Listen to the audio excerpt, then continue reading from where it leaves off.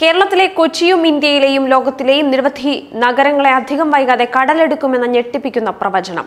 അന്റാർട്ടിക്കയിൽ മഞ്ഞുരുകി സമുദ്രജല നിരപ്പ് ഉയരുന്നത് നേരത്തെയുള്ള പ്രവചനങ്ങളെയെല്ലാം മറികടന്നുകൊണ്ടാണെന്ന് പുതിയ റിപ്പോർട്ടുകളിലൂടെ സ്ഥിരീകരിക്കപ്പെട്ടതിനെ തുടർന്നാണ് ഇതു സംബന്ധിച്ചുള്ള ഭയാശങ്കകൾ വീണ്ടും ഉയർന്നു വന്നിരിക്കുന്നത്.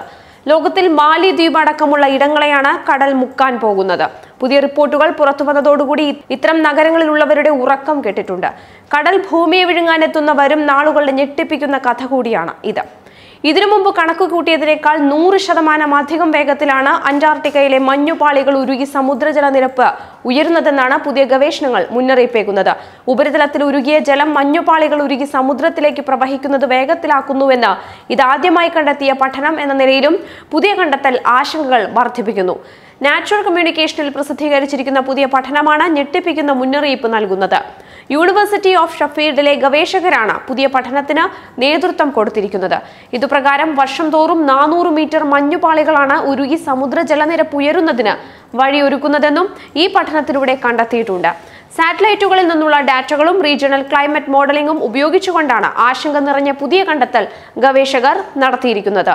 ഐസിന്റെ ആന്തരിക നശീകരണം വഴിയുള്ള ഗ്രാവിറ്റി കാരണം മഞ്ഞുപാളികൾ താഴോട്ട് ഒഴുകുന്നുവെന്നും താഴത്തെ ദ്രവാവസ്ഥയിലുള്ള ഉപരിതല ജലത്തിന്റെ ലൂബ്രിക്കേഷൻ കാരണം മഞ്ഞുപാളികൾ മുകളിൽ നിന്നും താഴോട്ട് വീണ് ഉരുകി സമുദ്രത്തിലേക്ക് ഒഴുകി ജലനിരപ്പ് ഉയർത്തുന്നുവെന്നുമാണ് പുതിയ കണ്ടെത്തൽ.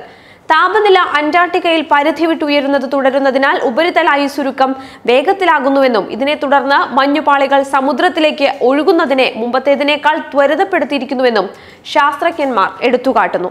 അന്റാർട്ടിക്കയുടെയും അവിടുത്തെ മഞ്ഞുപാളികളുടെയും ഭാവിയെക്കുറിച്ച് ആശങ്ക നിറഞ്ഞ പ്രവചനങ്ങളാണ് ഈ പഠനം പുറത്തുവിട്ടിരിക്കുന്നത്.